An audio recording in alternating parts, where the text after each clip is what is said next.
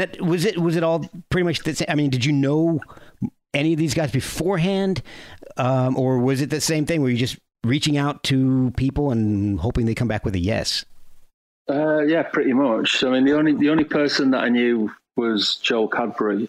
Uh, he was the singer in South, right? And he also did a lot of vocals for UNKLE. He was kind oh, of part of that, uh, the whole UNKLE unit for you know um, about ten years or something. Right. Okay. So so yeah, he was the only guy that I knew. The rest of them, um, my manager reached out to uh, apart from a friend that got in touch with Jim Jones for me, and then Fraser actually, who ended up um, he recorded some drums uh, for a few of the tracks somewhere, and the other one was Ron Sexsmith. We just started, fo- I think Ron just started following me on Twitter randomly, and I was like, what? And I was like, fuck, man. I was like, I was like, well, I'm not going to let this opportunity go. So I was, I, I just kind of plucked up the courage to drop him a message. And I had a track already that I knew would be perfect for him, which was the, the, track that is on the record, and sent him that. And when he sent me that back again, I was like, that was another one of those moments. I was like, fuck, man.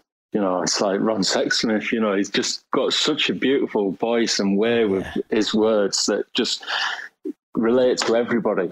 And that, honestly, that song, uh, that's how you're holding up. I, yeah. That's that could have been the theme song for 2020.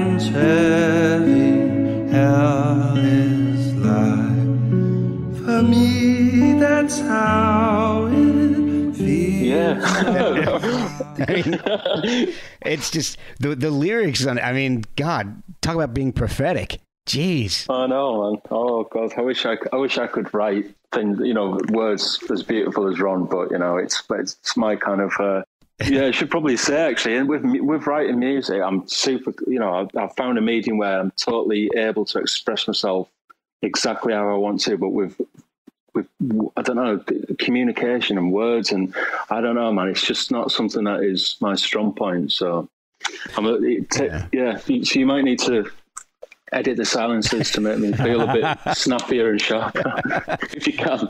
Man, it's you know it's crazy. Speaking of editing, because I'll probably edit this out. I I, yeah. I did a little bit of calculation, and I think for every hour I record, it takes like four hours to edit. Oh fuck, man! Really? Yeah. Crazy. Wow. Yeah. So thank God bless my wife and my kids. They're incredibly understanding. So let me, it's your it's your passion, right? It well, it, this and photography. I, yeah. I, and, and honestly, music. I love music. I wish I could play. I've taught myself how to play guitar, so I get I, I, get to play a lot of noise, and maybe that's one reason why I like the sound of of exit calm and and especially early verve, and uh, it's just big swells of noise, and I love that. And I can kind of do that on my guitar a little bit accidentally. So, but it's it's to me your music and, and, and Nick's it just kind of swallows you. It just kind of envelops you completely, and I, I think, God, okay, now this is this is going to be really weird, but hang with me for a second. I think what, and I, honest to God, I just thought of this now. I think I may have figured out why I love it so much. When I first really got into music and, and hearing bands like The Verve and, and these big shoegaze bands with all the noise and effects and all, my parents had just gotten divorced. And my mom literally just vanished for like a decade. And then my dad was kind of doing his own thing. Uh, you know, I was, I mean, my mom, she, I mean, we didn't, she, they vanished. I mean, she was just out of my life for like, you know, eight, ten years, something like that. And right. uh, my dad was trying to rebuild his life because it kind of took him by surprise.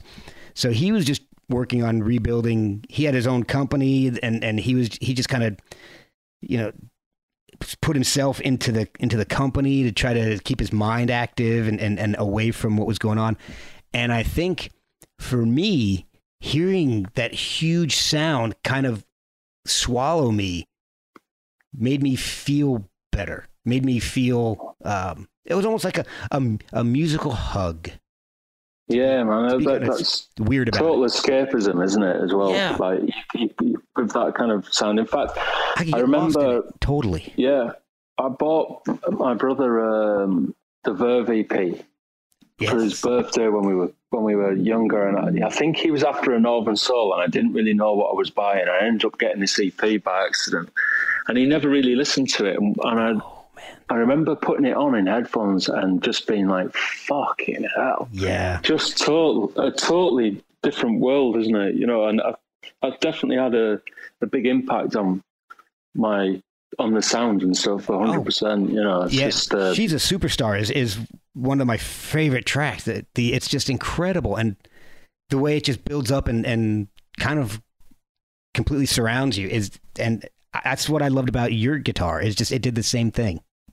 Yeah, that's that's cool. Well, thank you, man. I'm, it's weirdly that um, through the Exit Calm days, I think when we uh, when we put out that seven inch, actually, the higher learning, um, Nick McCabe got in. Uh, I don't know how this happened. Some well, well, it's something to do with like at this point. Obviously, I didn't have a computer. And I didn't really know what the internet was. it was still quite a new thing.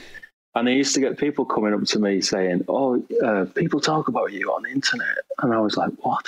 What's what's Right? that? What the fuck is yeah?" What the? uh, and there was this forum that was set up for the for the uh, like uh, from, by fans for the Verve, and so there was people that are obviously connecting the two sounds together and what and whatnot.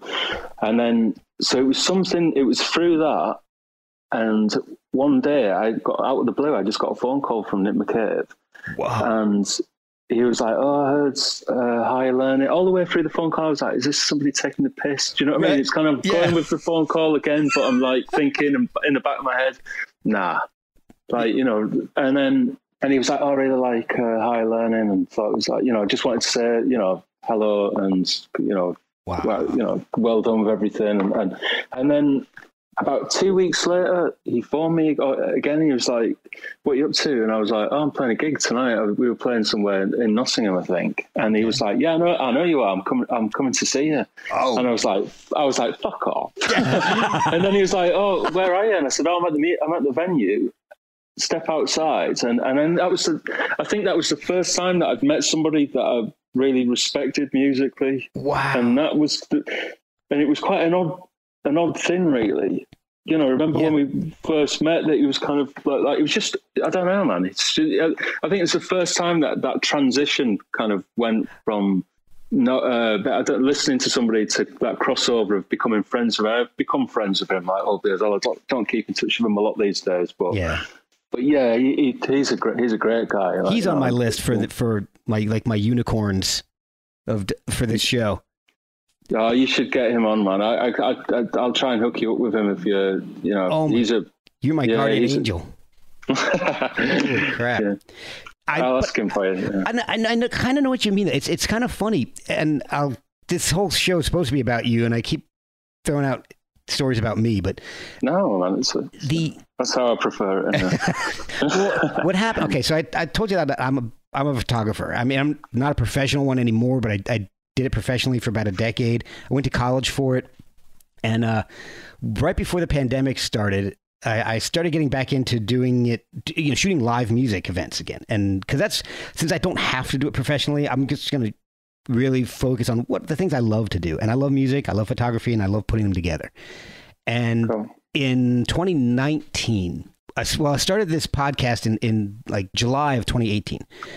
And uh, one of my first guests was Kellii Scott and from Failure and uh, Jordan Zadorozny from Blinker the Star. They came on and, Right. and they've been they've known they've been friends for like 25 years. So they came on together. And uh, a few months after that, Failure released an album. I think it was their, they'd been on hiatus for like 15 years, released an album in 20, I think it was 14, and they were about to release their second album after the Reformation. So they went on tour, and uh, I got in touch with Kellii again. I, I mean, we'll email back and forth or message back and forth occasionally. And um, I'm like, hey, you know, if if uh, if there's any way I can bring my camera, I would love to see you guys. He's like, I will. I, I got a, a press pass for you. Just come on out because the show is in in Washington D.C. and I live about a little over an hour from D.C., so it's not that bad of a trip to get there. So Okay. I went down to the show, brought my camera, and um, you know, after the show, he's like he he comes out and he's like, "Hey, come on, come on back and uh, let's hang out." And so I went back, and uh, it was kind of weird because they had this VIP section where if you if you bought a VIP pass, you could go up and meet the band afterwards. So there's me and like one guy and his son, and that that's pretty much it at the time because I think it was a weekday show or something. So so. Uh, we're kind of sitting there chatting, and he says goodbye to the guy and his son, and he's like, "Hey, Mark, uh, just come on with me." And the other guy looks at me like, "What? What? How? Why are you getting to go with this guy?" And I'm like, eh, "Well, you know, got, got a podcast. You know, what can I say?" So we end up going back down to the stage because they've got to pack up their own gear. you know, I mean, it's, I love the band Failure. They're fairly well known, but it's the 930 Club in DC, and it's you know they don't have all kinds of roadies. They're not the Stones, but No, no. but so they're packing up their own gear, and it was just so weird because Kellii and I are just talking about just random stuff, normal everyday stuff, and I don't know the other two guys in the band really, I- Ken Andrews and uh, Greg Edwards, and they're j- so I'm thinking of these guys as these incredible musicians that I've known from the '90s that I've been listening to for 20 something years. And they're just sitting there, me sitting there, packing up their own gear, chatting to me, making fun of Kellii, and just, I'm just like, God, they're just normal people. They're just regular dudes on the stage. Yeah, It's kind of a weird feeling. yeah. It's, it's it's interesting when you you break down those barriers and you just realise obviously people are just people, aren't they? It's, Yeah. Uh, It's it's and lu luckily, the people I've met over the years as well are all pretty. I don't know. All, all seem to be pretty pretty cool, decent people as well. You know, Yeah. I'm sure there's some idiots out there, but I've been quite fortunate lucky with that. Really. Well, back back to humanist. You sent out a bunch of uh, requests for people to to do the vocals for the album. Did anyone say no?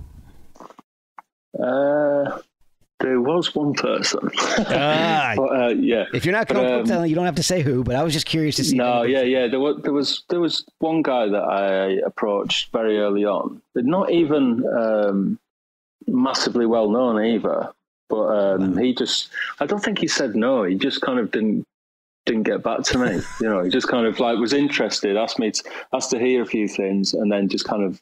I, I think I followed it up and I didn't hear anything back. But Yeah. I was trying to um, get Siouxsie Sioux on the record Ooh, wow. uh, from the Banshees, yeah. And I, I had a lot of back and forth with her kind of go to. I don't. He's. I don't know if he's his her manager or not. I think she looks after herself, but he's like the kind of go between. And yeah. it was kind of like felt like it might happen, but anyway, I, I just couldn't seem to get that to connect. But maybe at some point.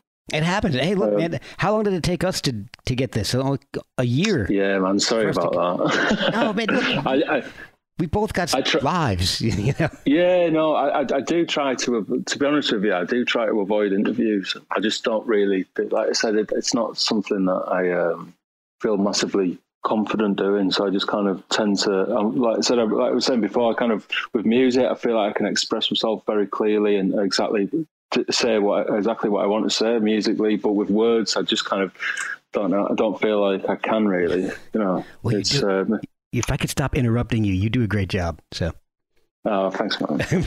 I just keep Well, interrupting. you're you. easy to talk to. Oh, No. thanks, man. I appreciate that. So, all right. Mm, So let's get back to what you're comfortable with the music. yeah. You recorded the whole thing on your own then, except for the vocals, and th- those those were sent to you. But the the album was kind of recorded on your own. Was that in? I mean, in a studio, or was it at your house? Well, yeah, no. I, so I did. I mean, pretty much all the record was recorded uh, just in, in my little studio that I've got, which is like with the most basic equipment ever. But right at the beginning, once I had like about six or seven tracks together, uh, I went down to a studio with a guy called Fraser Smith. He was a producer, and we started tracking drums for a couple of the. I, I, off the top of my head, I think about five tracks. Can't remember. And so I took those drums and put them uh, throughout the, the album. I, I don't even know if there's one track where the drums are the live drums are totally on their own. I don't think I basically used the live drums and the uh, the program drums and put them together, which is pretty much uh, what uh, Alain Johannes did with Gargoyle. the drums that I sent, uh, he got Jack because I remember um, Lanegan had sent me a message. I said, "Oh, you know, probably because." Uh, uh, you know, oh, you, you, should replace the drums. You know, trying to play it down. Really, you know what I'd done, but I was quite yeah. quite, quite proud of the drums that I'd programmed. But I thought maybe they could be a bit better. You know, because the pro in my head, I know that the programs are not real. Yeah. And then when so he did get Jack Irons to um, to do the drums, but then he sent me an email and said, "To be honest with you, we've just ended up using the program beats, and we've kind of put Jack Irons.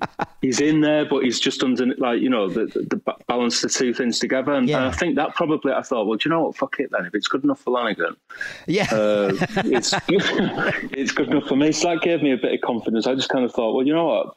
Especially with things like Kingdom, like that kick is so kind of obviously digital. You know what I mean? I just thought it yeah. sounds quite cool. But when then I like the balance of when the live drums really do kick in. You kind of it has such an impact, and I thought the two things together kind of work. So yeah.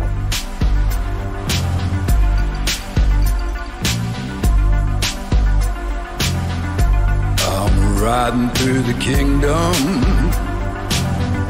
Ghost is riding by my side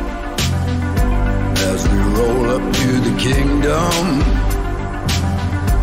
Ours is just to ride or die. There is no medicine to cure us. There is no medicine to take. Beware the shark below the surface. And Jack actually appears on one of the tracks on Humanist, right? Yeah, well, that that was a track that got rejected. Not rejected. It's not quite the right word. uh, it, originally, Skull was the opening track, I believe, for Gargoyle, oh. and then right at the last minute, he used Death's Head instead. Oh, uh, wow, okay. So, so, so you, yeah. the stuff that came out on Gargoyle was that stuff that you had already written for Humanist, or did you write it specifically for Gargoyle? No, I wrote for Gargoyle. Yeah, okay. so yeah, in a very short period of time as well. Uh, I mean, random. I, I up until this point, um, there was back and forth. At this point, Mark had only sung on Gospel and Kingdom, and okay. I'd had one email exchange with him, and, that, and that was it. And in the in my email, I said, "Look, uh, thank you so much for doing this. And if you ever fancy doing something together later down the line, I'd be totally up for it for your record or whatever, you know. Yeah. And never heard anything back. And then about three weeks after that, maybe a month or something, I just got an email out of the blue and it was like, hey man, it's Mark. Uh, I'm going in the studio in about uh, eight days or ten days or something, and I'm um, I'm not really sure. I'm digging some of the tracks. Do you have any leftover humanist material? So I was like, fuck. Oh. Uh, so I was like, uh, no, but if you give me a week, I'll I'll get into something and try and send you something new. And he, uh, you know, what form does it need to be in? And he was just like, anything, man, just like anything you've got that you, you dig in, send send it through. So I was like, right, fuck it. Here's an opportunity. Yes. So I locked myself uh, literally for every single day. I mean, I was, I mean, I had a, at this point as well, I had a really fucking shit job. I was working in like the kitchen. Oh man! And uh, oh man, it was horrible. It was like, for, I mean, the people that were there were lovely, you know, but it was just like one of these like grueling. I was like, I needed money, and I was like doing this shit, but um, it's shitty work. And then we, we go back to the. It, it just it that to me, there's just such a. I hate the word disconnect, but there's just such a uh, a separation between you you're working with Mark Lanegan, but you also have to have a day job. It's just yeah, it's fucking. I mean, I've been I've been lucky over the last four to five years. I will say that I've been like kind of. I've, I've done little bits of work in there when I've had to, but then I've had periods where I haven't had to work because I've made just enough money to pay, you know, with music to yeah. to pay for things. But you know, it's a constant battle. But at that point, uh, you know, Exit Calm was totally done. I just started writing again, and I had the humanist thing that I was working on, but I, you know nothing else. So I was yeah. kind of doing this thing. So I, and I was working about fifty hours a week at this fucking job that I hated and exhausted at the end of it. But within that period, of, I just thought, well, I, I'd come home at midnight and I'd just stay up writing, recording, writing, recording, just throwing ideas down at speeds. And I get up, go to work, then come back and do the same again. I just thought, fuck it, man. I don't care how tired I'm going to get. I'm going to throw everything I've got into this. Yeah, I mean, what an And I opportunity. wrote, yeah, and I got. I mean, I recorded ten things. I, I threw two things away. I had eight tracks, and six ended up on the album, and one came back. One ended up scrapping, and the other one was Skull, which came back to me and ended up going on, obviously, the Humanist record. That's So, amazing. That is incredible. yeah, I was surprised that he took it, man. I was thinking every, I, every, every I sent him two lots of four tracks, and he t- every time he was like, "God damn it!" Like- That's So, yeah. Picture him. fucking- yeah. I can picture him saying that. No, he's he's, he's a super uh, beautiful man. Yeah. You know I mean, I'm very lucky to have Mark in my life. He's uh, always in, included me in, in when the Gargoyle Press was out there. He was like always like just name checking me, and also you know if it wasn't for Lanegan, Dave Gahan wouldn't be on the record. He's the guy that hooked me up with Dave. That's I mean, incredible. a- yeah, That's a great song fucking- too. Shock collar, man. That's that's such a great track.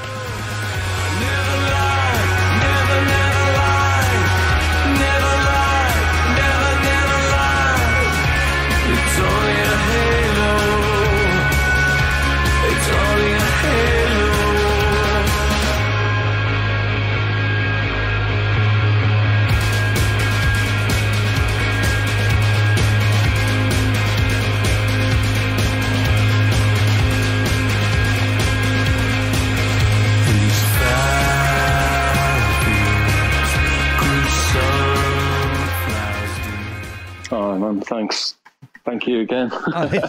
well, I can't. I, I, I, don't know. I feel a little fanboyish. Too many compliments, doing- Mark. I know, I know. I feel a little fanboyish, but the, the album really, from start to finish, it's just uh, one of the most solid albums out there. It's just, it's just really, really well written, well produced. That you've got such a variety, and that I think maybe that's one reason why I like it so much is that it's not all Mark Lanegan. It's not all Mark Gardner. It's not all Dave Gahan or Ron Sexton. It's, it's, it's so many different people and so many different styles. Uh, you know, like truly too late.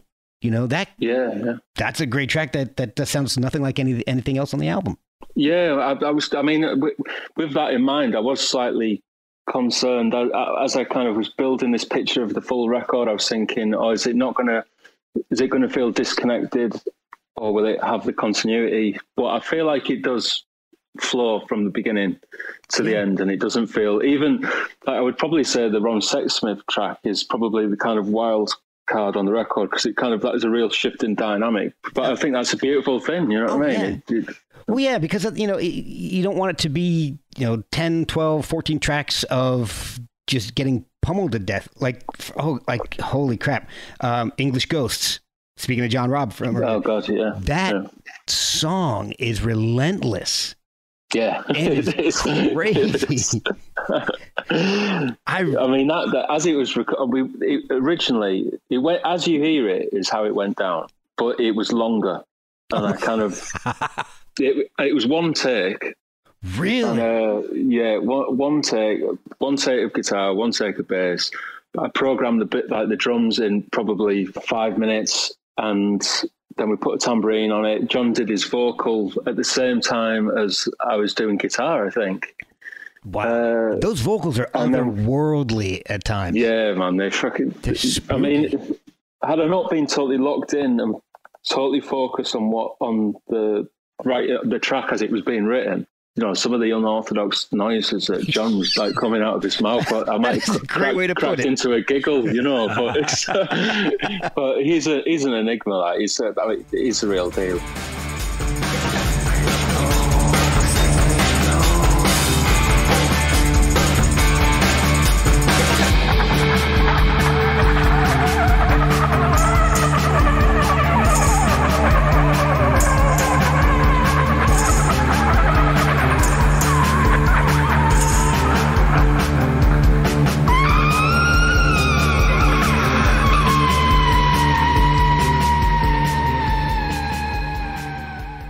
He's, fucking great, man. And it turns, I mean, that's kind of almost like the centerpiece of the record, English Ghost. I knew once we had that, I thought, right, fucking hell. Like, like I feel like I've covered all Yeah. bases now. Because you know? it was, I think that was the last track that went on the record, believe it or not. Oh, really? Wow. Yeah. So John originally came down to put some bass, just to put some bass on the track. That didn't end up going on the record. And as we were starting that, I was like, should we just fuck this off? What was that? I remember he played the the bass line that is the thing that runs all the way through the track, and I was like, right, that thing you're playing there now, let's fucking use that. So we, we, we quickly stuck that down, programmed a beat, and then it, and then we just started from you know just played it all the way through, start to finish, like a whole improv. That's Uh, yeah, it was fucking oh the moment. that is crazy. Oh, see, I, that's why I love talking to musicians because that's a oh to hear that that track was just basically one take. That's incredible. Pretty much the the and so for example, we go back to everything that I pretty much do is one take, and that, and the the reason for that being is that I when I try to write music, I when I when I get that when I go into like oh, fucking hell, I, I try to say this without sounding pretentious or anything because I hate I hate when I read people or hear people talking like this, but I try to think when I'm doing music, I try to think of nothing whatsoever. I just try to fall into that place where whatever it is, where you start to where you just start doing things. Do you know what I mean? And when I get there, I don't want to be thinking about the fucking computer or Right, right. what I'm playing. I just throw it, things down. Like as like as as it as it as it comes to me, it just goes down, and I don't care what it sounds like Right. nothing's considered.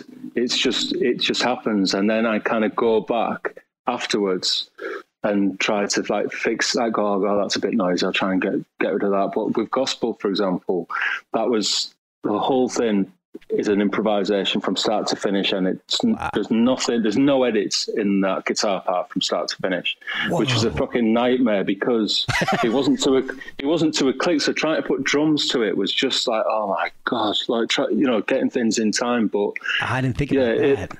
the spirit of you know capturing something as it happens is just amazing, isn't it? I think it, that's what resonates with me, and then hopefully with other people. You know, that's you, 'cause you can't you can't re, you can't recreate that moment. You can try to, but it's never it's never the same. So what's the fucking point? Just you know. Well, my mother and father too have gone home to be with God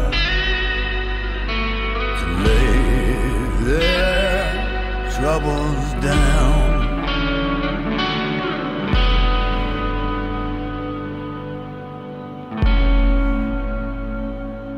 You know my sister, brother too.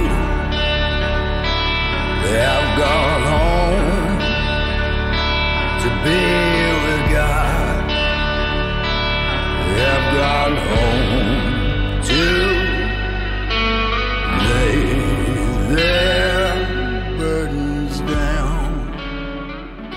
Were you ever able to play live uh, the album? uh, You know, play get a get a band together and, and play anything out? we started rehearsing and we were just about to go on tour. We had seven UK dates booked in, and but there was um, af- this was kind of just pre-lockdown, the Yeah. first lockdown. We- There was obviously dates in Europe after that, and more dates in in the UK. Well, like Europe and the dates in the UK when the seven dates that we had originally booked in, they got rearranged. Well, they've been rearranged four times now, so it's just been a fucking nightmare to be honest. But everybody's gone through the same Yeah. same shit. So So you had a, a band set. I mean, who? So who is going to take this out on the road with you?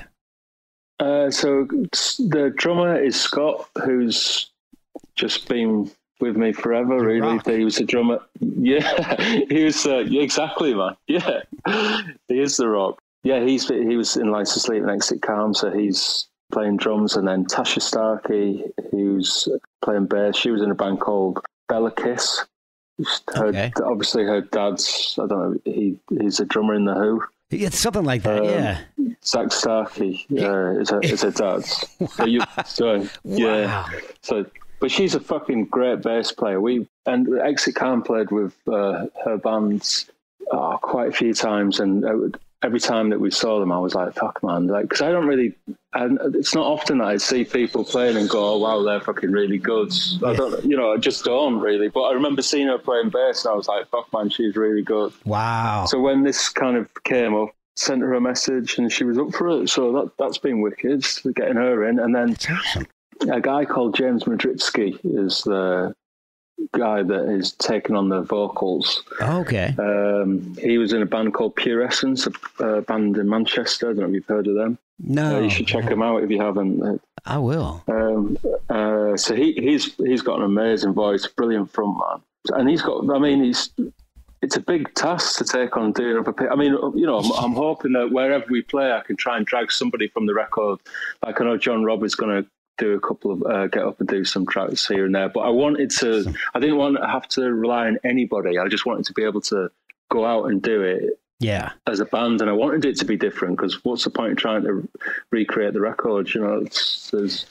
Yeah, I quite like the idea of of taking the tracks and trying to do something with them because that that is the kind of point of humanist really well, it's not meant to be that's that's what i've always loved about live shows is I, if, if i wanted to hear it the exact way it was done on the record, I just put on the record.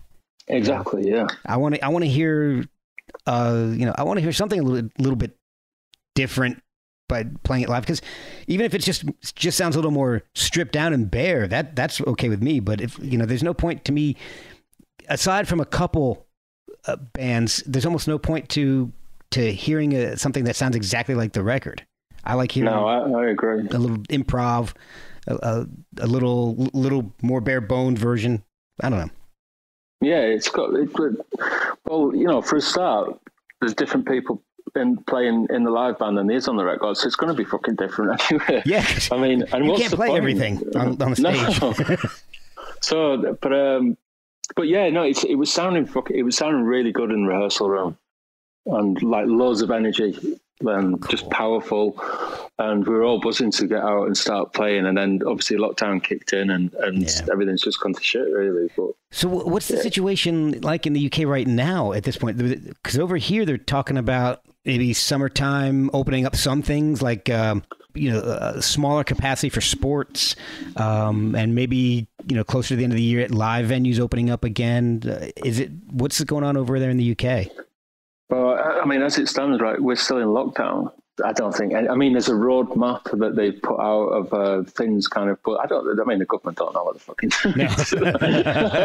I mean, I it's a terrible state. but uh, yeah, I, I, they, you know, obviously, the, the people have started to uh, advertise and put tours towards the back end of the year, and the, the our tour is, is in October now and there's talk of it happening, but I don't know, man. I just I'm not I can't see how we're, we're in lockdown now. How it come kind of October that they're going to be able to put ah. oh. 300 people in a sold out venue. You know what I mean? It's yeah. shoulder to shoulder. How is that going to? You know, I don't know. And, well, and, the, but, and in addition to that, you've you got to remember just the logistics of everything. You know, you can't just say, okay, everything's open, and then tomorrow, you know, bands are going to be playing in clubs.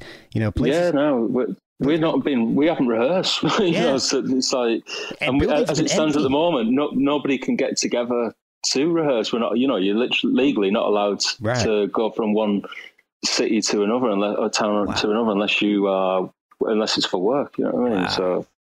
That's great. Uh, this this entire time I've been having to drive 45 miles back and forth to my job. This whole so I've I haven't really been in lockdown.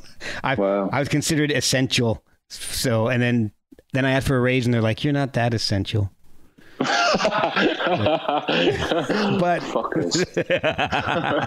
but they've they've actually taken care of me starting the uh, they've they've done a really good job after, since the turn of the year. So that I, I got to hand it to them they've they've actually done a really good job with with uh, understanding the struggles that me and everybody in my department in my building have have had to go through over the past year. So it finally clicked with them and they they, they've actually kind of turned a corner. So I'm very happy. So oh, that's cool. Well, uh, uh, what's happening where you are then? Are you in lockdown right now, or no. things are back to normal? Uh, or, things, you know, not back to normal, but no, things are open. And it, it over here, it just it just kind of depends state to state. Um, we, you know, I can go wherever, back and forth wherever we want, as long as as long as the um, office, the, you know, offices, restaurants, stores.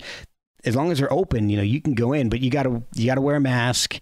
Um, Right. They try to stress social distancing, which is a, a term I've come to hate at this point. I try to, to to be as respectful to everybody as we can, and, and everybody around in you know where I live is doing a pretty good job of it.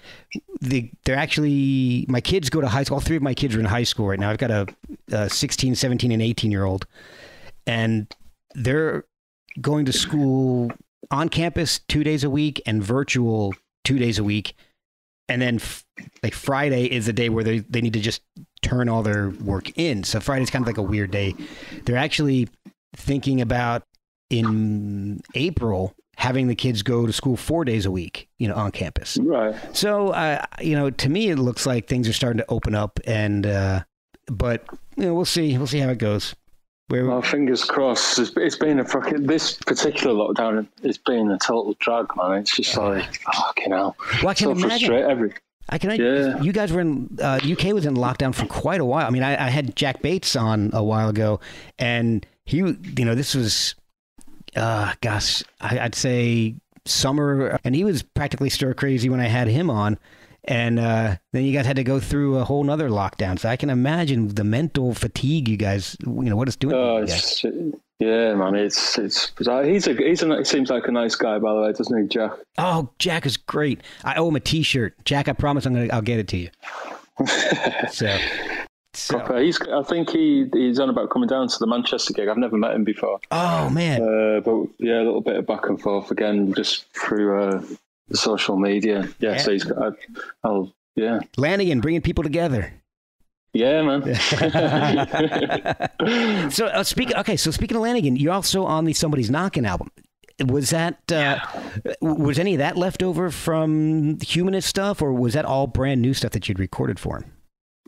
Uh, all brand new stuff again. Oh. Yeah. Um, so uh, after Gargoyle, yeah, I mean, I've just, I guess, become friends, obviously. But, um, and um, he was like, "Oh man, you know, just let's uh, just keep writing together." So we just have, you know, we've just written quite a lot of stuff, really. And um, I've always kind of like throwing any ideas that I have that I think are suitable towards him, and if they, if he feels like they're right, then he used them for his records. So I know he's working on a, a new record, and I've Yeah. sent a couple of things his way that I think he probably end up using. So, Oh, awesome. but um, he's just moved though uh, to um, Ireland. I don't know whereabouts in Ireland. Did you know that? Or? Yeah, yeah. It's it, oh gosh, this was kind of funny because he came on a second time to, uh, around Christmas. I reached back out to him and I, I said, "Hey, look, I want to do a special Christmas episode."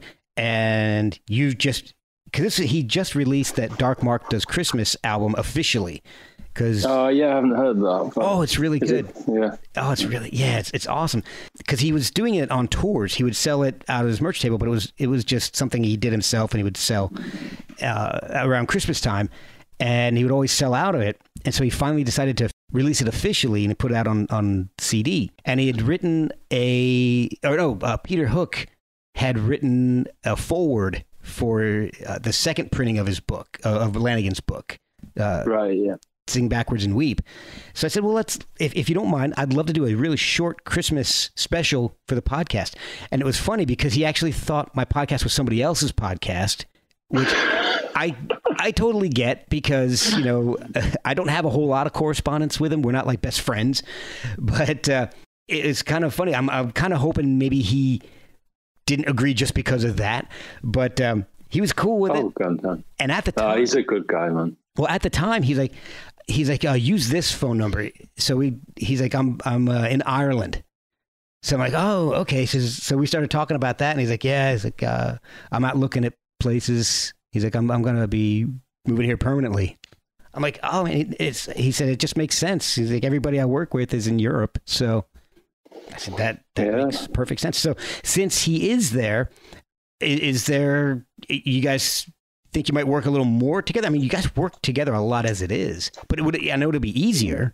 Yeah, I mean, um, I mean, we're still work, working together now. I, I can't. I, I mean, I'd like to think that the that would probably continue on. I think it probably will. You might be able to get him to Um, show up at one of the live gigs then. Yeah, man, you never know. Fingers It's- uh, Yeah, he's going to be itching to get out on tours because I mean that was his main thing, wasn't it? I mean, he never stops really, no. and so it's got to be tough for him. And also going from Los Angeles to Ireland, that's it. That's a fucking huge change, isn't it? You know what I mean? yes, it is. I thought it was bad when I moved from New Jersey to Alabama. That was rough, but right. LA to Ireland. Man. Yeah, what a contrast. Yeah. so, so, all right. So I know that the the we were just talking about how the pandemic and the, the lockdown has been really hard on you and everybody, especially in Europe and and, and all. Has have you been writing more music? I know you wrote a ton of stuff for Humanist, right? Has have you continued to keep writing ever since? Yeah, be, I mean, it's I've, I've not been doing it at the same pace. I'll, I'll be to- totally honest. It kind of did knock the wind out of my sails a little bit when the kind of first lockdown kicked in because oh, yeah. I was I'd done so much writing up until that point that I was really itching to. I really wanted to get out and play live because I hadn't played live for since Exit Calm, so probably it had been four, four or five years at that point. So I was really kind of, and I'd had an, uh, once Exit Calm had finished, I'd kind of, I was ready for a break from playing live. I felt like I'd done it so much that kind of like the thrill and the excitement of like walking out was becoming a little bit kind of, I don't know, man. It just, I did the, the buzz wasn't there anymore. Do you know what I mean? Yeah. Which yeah. is shit. You know, when it gets to that point. I mean, I still love playing live. I mean, it's just like all all the other stuff that goes with it yeah. The traveling around and stuff. I got a bit tired of that um, well and like, like we had mentioned before so, you, you got to bring your stuff in and out you know? You're not the stones unfortunately. So there's yeah exactly. the performing is just part of it. It's traveling and packing and unpacking all your equipment and oh absolutely yeah. And it's i mean we've it's always been like a, a slog, really. You know what I mean? It's, there's never been any glamour in it for us, but we've, you know, I, I did love, I, I, did love that side of of, and especially towards the end of Exit we start to actually sell out gigs up and down the country, which is like a, probably for the last couple of years we started doing that, and that was that was pretty incredible. Really, I never walked out thinking, "Oh, this is normal." I, for me, it was just like, "Wow, fucking hell, this is incredible." We just turned up to a venue, uh, you know, a venue to have people actually there and want to fucking that want to see us. It's always a thrill, but it, every, with it combined with everything else that was going off at that point I just kind of reached a point where I was, for the first time ever, really, where I thought, right, I'm kind of ready to not play live for a bit now. Um, Makes but sense. yeah, but normally with with all this, uh, I'm, I'm, quite prolific, really, and I'm with writing and I'm self motivated, and but yeah, just kind of I don't know, it was a bit of a struggle getting back into the writing, but I pushed and kept going. And yeah, I've, I've, got, you know, I've been doing lots of writing, actually, lots of writing with different people and working on a new humanist records. But probably, I mean, I've got more than enough material for. You know, a number of humanist records, really. So I was going to say, I, I, I, think I, I, remember reading where you had, uh, you said you'd written enough for like eight sides of a or four sides of a humanist album. So it, yeah. it would have been like a four disc. it's, it's grown from that. That's, at this point, you well, should have you know, eight I, double I, albums. Yeah, probably. I probably do. Yeah, but the thing is, you, the more tracks that you do get, the more kind of somehow it feels like a burden to have them and not be doing anything with them. Do you know what I mean? Like I don't know. How, wow. Why that is, that. but it, yeah, I, it's almost like it feels like oh god I've, I, I need to stop because I've got all this stuff and I feel like I need to do something with it. Otherwise it's just sat there and it doesn't feel fresh. The stuff that feels fresh is the stuff that I'm writing and that's what I'm excited about. And when I tend to finish a track I leave it alone and I don't really go back to it. Yeah. do you know what I mean? I feel like I'm constantly moving on and I've, at this I'm reaching a point where I feel like I need to stop and just kind of collect things together and, and put, yeah and put them into one place really. oh man. We you can always just release them as singles on Bandcamp. yes, could do that. I know people like me would. Well, nothing's it once you get a once you get a label involved, everything just becomes a little bit. Because I tried to do some kind of giveaway track, and it was like, no, you can't give away the track. It's got to be done this way. And I was oh, like, oh, okay, it's too too complicated, you know. Man. Um, but yeah, no, I, I think I've, I've, at some point I probably put um, some kind of I don't know thing together and probably just stick them on Bandcamp or give it away or something. I don't know. Oh man, well I'm down for that because I absolutely love the stuff that you've done. So it's funny because all right, so you, that's a good possibility because So I just had another guy who I forgot to mention that su- suggested I have you on the episode was Peter Holmstrom from the Dandy Warhols. And Oh well. and um, the Dandies are doing stuff on Bandcamp. They've got this. Um, I'm trying to think of what it was. They call it. Um, oh shit! I don't remember what the hell they call it. It's it, it's an album. They they put out a track every week, and it's no longer than a minute. And then once they get like 25 of these songs together, they they put it together as a little compilation, and, and you can you know listen to them. You, they'll. I'm trying to remember how they release it. It's through uh, the, the email or, or their website or something, and you can listen to them at or, or social media as they release them. But then once they get enough, they'll actually put them all together and put it out on Bandcamp, and it's like a name your own Well, do you- price. do you-. Do you mean in, like instrumental tracks, or do you mean No. an actual song? It's an actual song. A song that's a minute long. Yeah, it's like Wow. 30 seconds to a minute long, and it's crazy. Some of them are hilarious, but it's usually the entire band, and there's like five people in that band. So they're, you know, every week they're getting together, even if it's just virtually, and putting something together 30 seconds to a minute long. It's just crazy. Wow. Yeah. Fuck. That that'd be a challenge.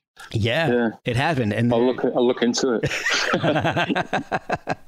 Well- I, I think I'd struggle a minute, man. Fucking hell. I, I've come from six, seven minute tracks. You know what I mean? That, that, that I've, in my head is somehow a single. Do you know what I mean? But I, Yeah. you know, I've, I've scaled it down quite a bit recently. But a minute now, I couldn't do. it. I don't think that's possible for me. yeah, but you've probably you've That's got like skill. you've got so much stuff lying around. You could just start putting that out one at a time, one one one track a week. Yeah. No. yeah, maybe I will. Well, it, I w- I've, I've got kind of like a slightly dip, like ambient kind of more of a soundtracky kind of uh, bunch of ideas that I was thinking of releasing. In, you know, maybe like that, or, or the Bandcamp thing, or just something that's separate. But yeah, I'll see. I, I need to get more focused with that thing.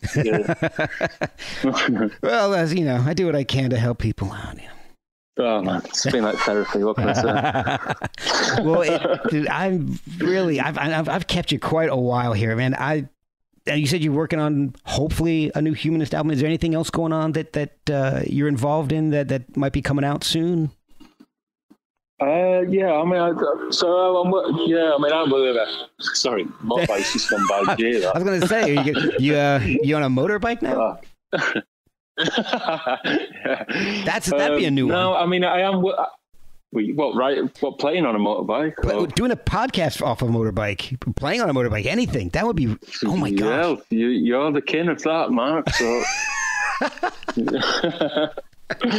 maybe your next podcast. Maybe. Yeah, Something on a bike. yeah. I Well, know.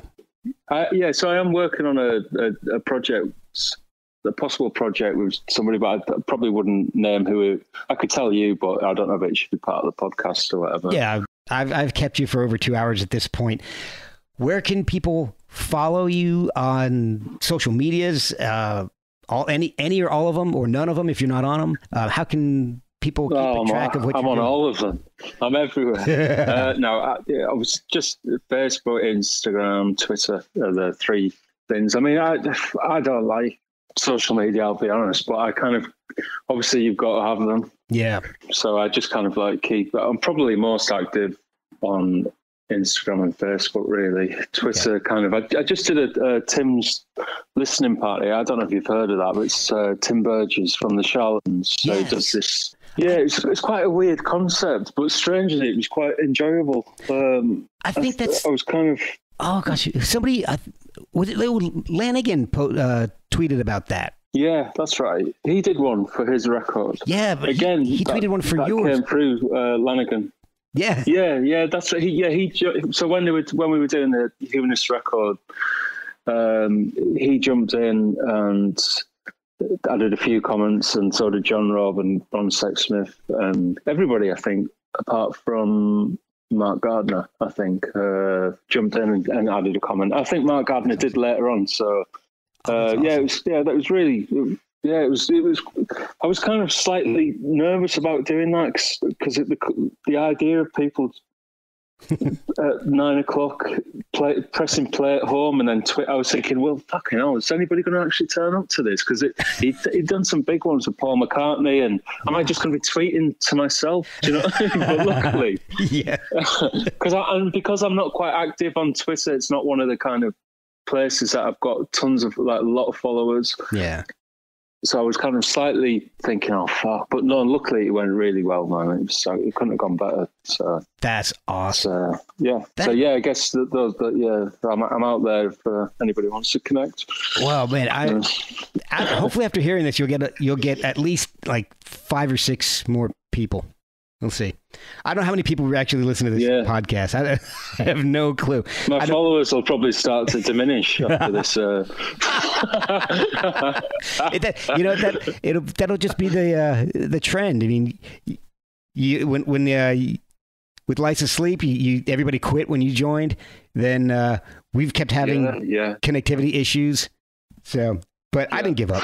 I didn't quit. God, yeah, well, I do. That, you know, if there's, if there's one asset that I've got, it's perseverance. That's you know what I mean. But uh, Man, I I have kept you. I've been very selfish with your time. So thank you so much. no, no, it's been a pleasure talking to you.